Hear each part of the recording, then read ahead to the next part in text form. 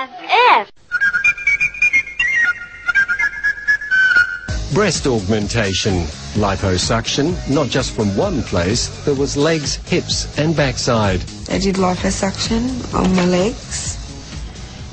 And yeah, they did a little bit at the what do you call Your it? bottom yeah. and your back, yeah. Yeah, just to sort of keep it, me in proportion and stuff to and that wasn't the end of it. She had four separate laser treatments to reduce the size of her thighs. Yes. a, fair, a, fair, a, fair, amount of fat extracted? Uh, two and a half um, litres. litres. Two and a half litres? Yeah, and that was the legs and... Thighs and bum. Thighs and bum, yeah. And the, uh, the price tag for that one? Um, that was eight, eight yeah, 8,000.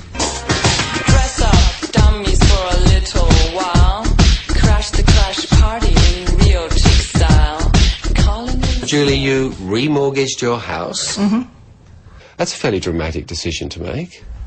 Yep, it is. And I'm very proud of what I've created. I like